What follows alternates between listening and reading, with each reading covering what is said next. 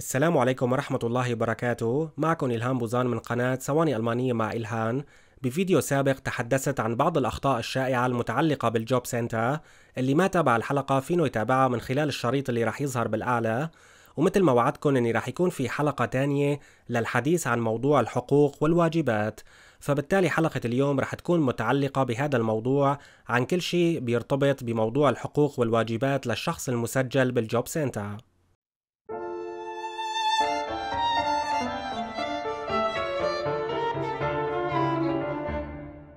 رح أتحدث بداية عن موضوع الواجبات. أولا لازم تكون قادر على الذهاب على أي موعد بيطلبوا منك ال Jobcenter خلال أيام العمل يعني من يوم الاثنين ليوم الجمعة. فبالتالي ممنوع السفر بدون إذن رسمي لأني ممكن تتلقى بريد خلال هي الفترة. وقضاء يوم كامل خارج مدينتك أيضا بيعتبروا ال Jobcenter بمثابة سفر. فبالتالي ممنوع المغادرة أو السفر بدون الحصول على إذن رسمي من ال Jobcenter. وفي حال أجاك موعد وكنت مريض مثلا ففيك تزور الطبيب وتحصل على شيء اسمه Krankschreibung أو Krankschein يعني بيان مرض وتقدمه مع الورقة اللي بتكون مرفقة بالموعد لل Jobcenter كعذر لعدم حضور الموعد. وفي حال تغيبت عن الموعد تبعك من ال Jobcenter بدون تقديم عذر رسمي فبهي الحالة بتحصل على مخالفة أو غرامة مالية قيمتها 30% من المعونة الاجتماعية اللي عم تحصل عليها لمدة ثلاثة أشهر. وفي حال التكرار مرة تانية فبتصل ل 60% من المعونة الاجتماعية أيضا لمدة ثلاثة أشهر. وفي حال تكرر هذا الشيء للمرة الثالثة ضمن السنة الواحدة فممكن يؤدي هذا الشيء لقطع المعونة الاجتماعية نهائياً. ثانيا لازم تبلغ الجوب سنتر وتعلمه بأي تغيير بيحصل بحياتك. على سبيل المثال لقيت شغل فبالتالي بتروح تاخذ له عقد العمل مباشرة. غيرت حساب البنك فبالتالي بتروح تاخذ له الحساب الجديد مباشرة. وأي تغيير بيحصل كمان بوضعك العائلي بحالتك العائلية فايضا بتخبر فيها ال Jobcenter. وهذا الكلام ينطبق عليك وعلى جميع أفراد أسرتك. ثالثا بنهاية كل موعد بينك وبين موظف ال Jobcenter بتوقع على اتفاقية Vereinbarung بينك وبين موظف ال Jobcenter عن الشيء المطلوب منك تعمله بالمستقبل مثلا زيارة كورس للغة الألمانية أو البحث عن العمل. فبالتالي كل شيء مكتوب ضمن هي الاتفاقية يعتبر ملزم لإلك ومطلوب منك إنك تنفذه بشكل كامل وعدم تنفيذه ممكن يعرضك أيضا للمخالفات المالية.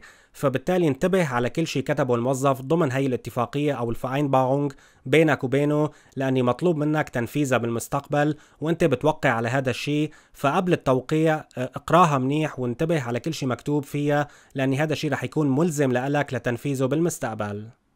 ننتقل الآن للتعرف على الحقوق اللي بتحصل عليها لما بتكون مسجل بال Jobcenter أولا الحصول على معونات البطالة رقم 2 لضمان مصاريف المعيشة بالإضافة إلى آجار بيتك ضمن مساحة معينة بتتغير من مدينة لمدينة ومن مقاطعة لمقاطعة وحسب عدد أفراد أسرتك بالإضافة إلى التأمين الصحي. ثانيا الحصول على معونات اجتماعية إضافية في حالة المرأة اللي عم بتربي ولادها لوحدها يعني في حالة غياب الأب وكمان في حالة الأشخاص اللي بحاجة لنوعية أغذية محددة مرتفعة الثمن بسبب مرض مزمن مثلا فهدول كمان بيحصلوا على مساعدات اجتماعية إضافية. ثالثا الحصول على مساعدات اجتماعية إضافية في حالة التعليم بالنسبة للأولاد والتكفل بمصاريف الأنشطة المدرسية مثل الرياضة والموسيقى وحتى مصاريف الرحلات.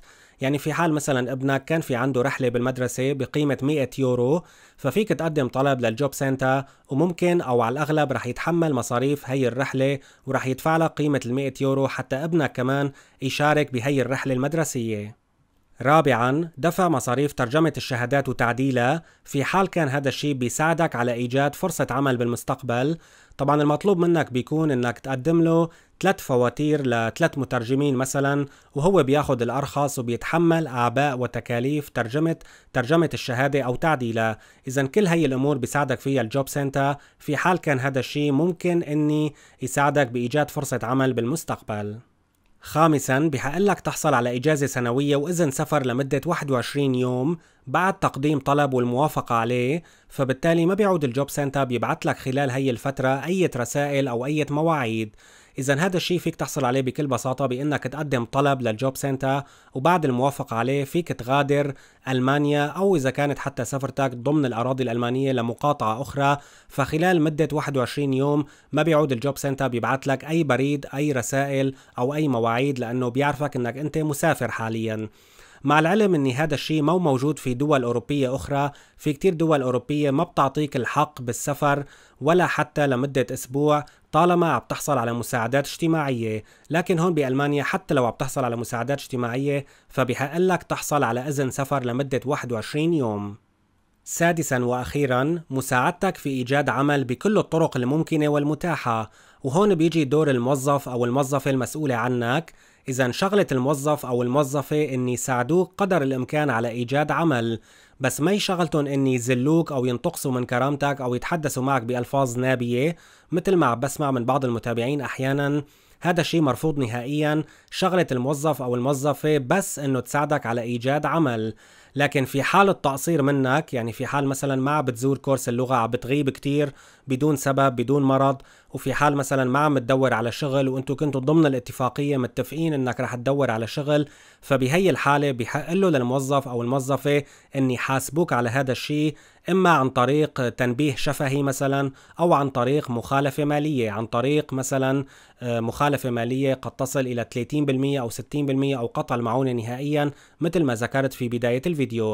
إذا شغلة الموظف أو الموظفة يساعدك على إيجاد عمل وغير هيك ممنوع يتحدث معك بأي ألفاظ نابية أو ينتقص من كرامتك أو يذلك لأنك عم تأخذ مساعدات اجتماعية. هي ما شغلته نهائيا هو شغلته بس يساعدك على إيجاد عمل.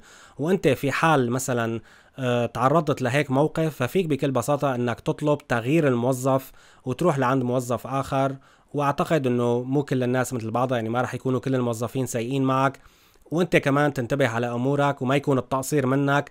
ما تغيب عن كورس اللغة بدون مبرر وكمان تبحث عن عمل في حال مثلا انتهيت من كورس اللغة فحاول إنك تدور على شغل وما تضيع وقتك وتعمل بفيبونج فلما بتلتزم بكل هي الأمور وبتحضر موعدك النظامي كمان فما حدا بيقرب عليك نهائيا وما حدا بيقطع سنت واحد من المعونة اللي عم تاخدها.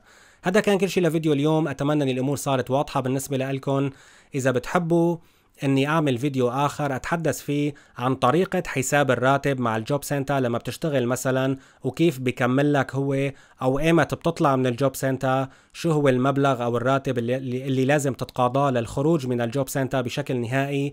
إذا بتريدوا مزيد من هالتفاصيل ضمن هي المواضيع اكتبوا لي هذا الشيء بصندوق التعليقات أسفل الفيديو.